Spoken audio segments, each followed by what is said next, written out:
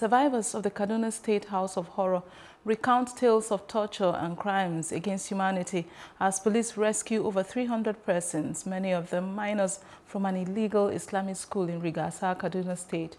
The episode, which continues to shock Nigerians, sent shockwaves across the country as many of the victims who were chained for years were only released as the police bust the school following a credible intelligence. Many of the victims rescued in chains recount tales of sodomy, rape, and torture. But you to keep someone here, you say robot him, you keep him with someone that's a drug dealer.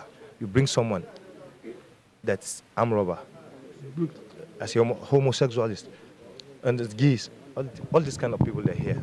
If they caught someone with the issue of homosexuality, they will not even do anything to him.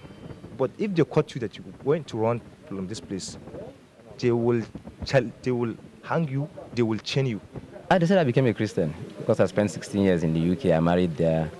So I go back to Nigeria to come and settle with my family. And uh, the extended family came and told these people that I became a Christian. I've converted, I'm trying to convert my children to Christians and the rest. I just found myself here one night, one morning about two years ago. I went to middle school Zaria. So since that experience, I've not seen anything like this. And this is worse because of the age. I'm diabetic, no drugs. They keep you incommunicado. You can't talk to anybody to bring drugs or medicine for your diabetes. This place is neither a rehab or an Islamic school because you can see it with yourself. Small children, some of them are brought from our neighboring countries, Burkina Faso, Mali, Ghana, and the rest. And the children gathered here are from all over the country, across all over the country. They were here some of them were even chained. They were used, dehumanized. You can see it yourself.